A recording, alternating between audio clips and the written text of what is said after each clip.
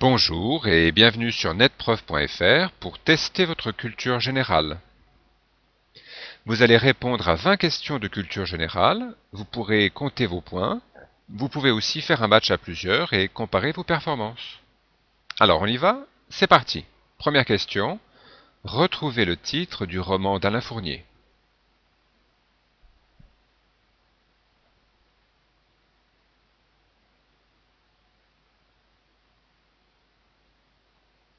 C'est Le Grand Maune, le seul roman de cet auteur.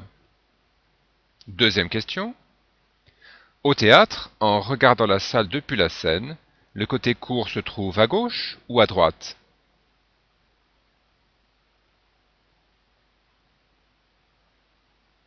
C'est la réponse A, à gauche. Et un petit truc pour les comédiens qui sont sur scène, le côté court est du côté cœur.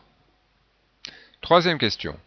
Time est un magazine anglais, américain, canadien ou australien.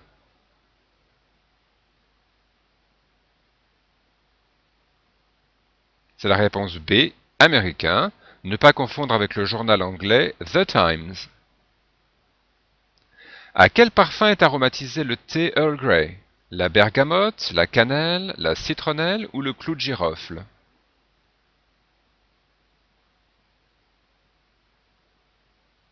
C'est la réponse A, la bergamote. Que signifie CSG sur le bulletin de salaire?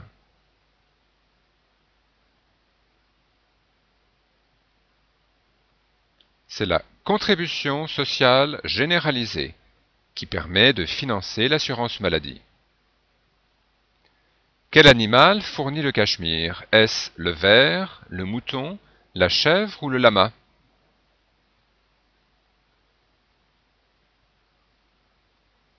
C'est une chèvre que l'on rencontre sur les plateaux de l'Himalaya, euh, dans la région du Cachemire. À l'opéra, quelle est la voix féminine la plus aiguë? Soprano Alto Mezzo Guelato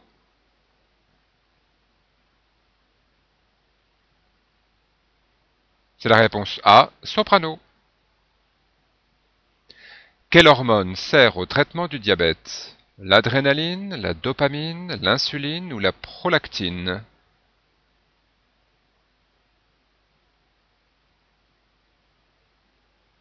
C'est l'insuline. Qui a sculpté la statue de la liberté?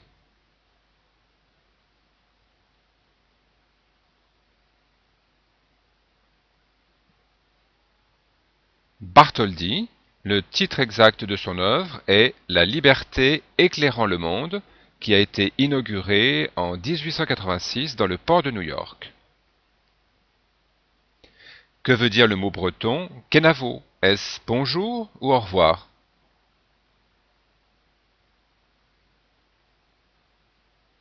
Réponse B. Au revoir.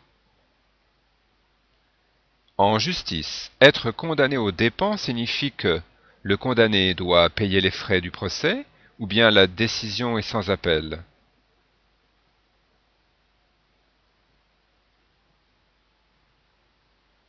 C'est la réponse A. Le condamné doit payer les frais du procès. Quel est le cube de 7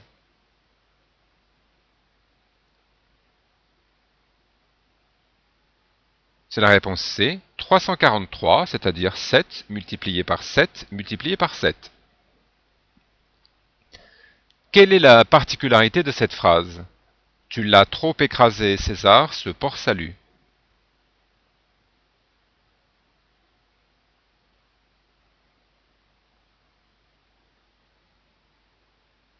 Eh bien, c'est un palindrome, c'est-à-dire qu'il peut être euh, lu euh, de gauche à droite ou de droite à gauche. D'autres exemples de palindromes Ésope reste ici et se repose, ou bien élu par cette crapule. En quelle année paraît dans l'Aurore la lettre ouverte de Zola intitulée J'accuse? Est-ce en 1888 ou en 1898 ou encore en 1912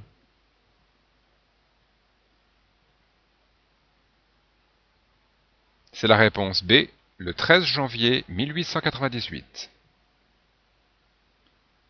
De quel verbe Jean Cocteau donnait-il ainsi la définition?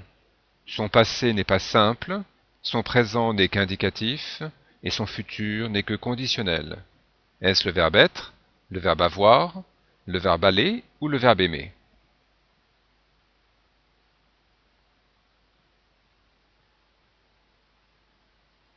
Réponse D, le verbe aimer. Que veut dire le mot anglais library?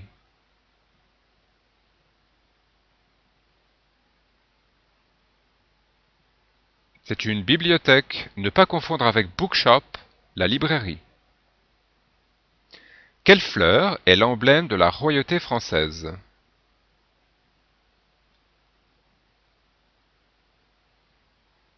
C'est la fleur de lys que l'on voit représentée ici. Convertissez en chiffre arabe ce chiffre romain.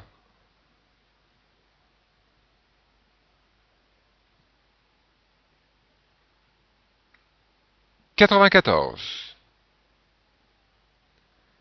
Dans l'imaginaire médiéval, la licorne symbolise A. la puissance sexuelle et la pureté ou B. la force et le pouvoir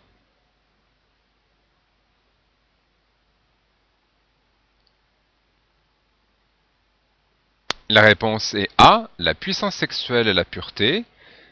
La force et le pouvoir sont représentés par le lion. Et voici la dernière question. Qui a peint ce tableau? Eh bien la réponse est René Magritte. Le titre exact est La trahison des images. Voilà, je vous laisse compter vos points et je vous dis au revoir et à très bientôt.